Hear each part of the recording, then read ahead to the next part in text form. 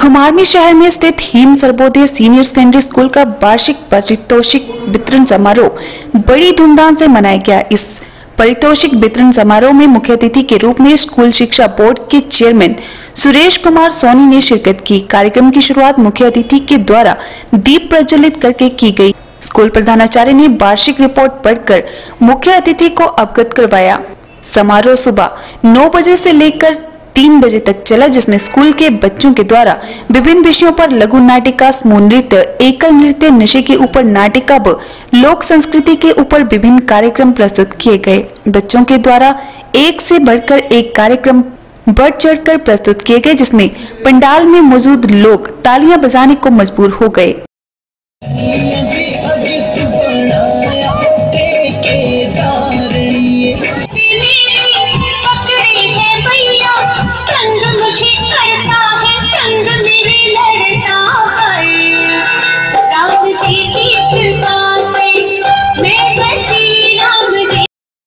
मुख्य अतिथि ने अपने संबोधन पर बच्चों को नशे से दूर स्कूल की हर गतिविधियों में हिस्सा लेने का आह्वान किया। बच्चे पढ़ाई के साथ अपने जीवन में किस क्षेत्र में आगे बढ़ना है उस सपने को साकार करने के लिए मेहनत करें तो निश्चय मंजिल आपके कदम चूमेगी। मुख्य अतिथि के द्वारा साल भर की विभिन्न गतिविधियों में बेहतरीन प्रदर्शन करने वाले छात्र छात्राओं को सम्मानित किया गया है।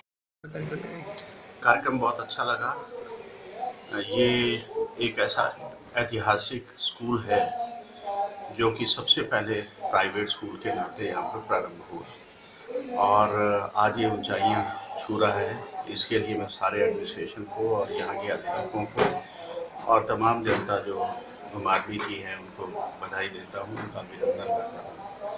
शिक्षा का क्षेत्र ऐसा है कि इसमें जितने संस्कार दिए जाए, बच्चों को उतना अच्छा होता है। आज जो बच्चे हैं, उनका हैप्पीनेस लेवल है, थोड़ा कम हुआ है।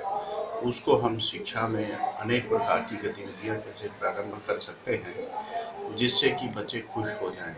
तो ये कल्चर प्रोग्राम जिसमें कि मुझे ऐसा लगा कि अधिकतर बच्चों की सहभागिता स्कूल में रही है। इस माध्यम से बच्चों का जो हैप्पीनेस लेवल है, वो बढ़ता है।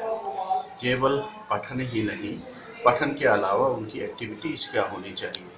इसके ऊपर पूरा स्कूल प्रशासन ध्यान दे रहा है।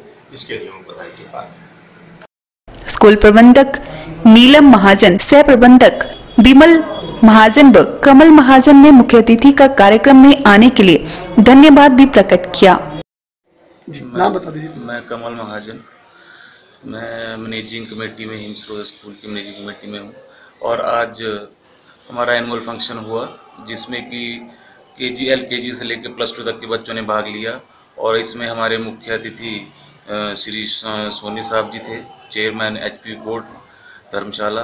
तो और हमने अभी अपने स्कूल में साइंस क्लासेस को भी शुरू किया है, जिसमें कि हमारी सारी फैकल्टी, कोटा, राजस्थान, दिल्ली और फिर जी जनकपुर आकाश जानी मानी फैकल्टी हमने बुलाई है। इस साल जो हमारे क्लासेस शुरू हुई है, नाइन्थ से लेकर प्लस टू तक, आफ्टर स्कूल आवर्स भी ये क्लासेस चलती हैं।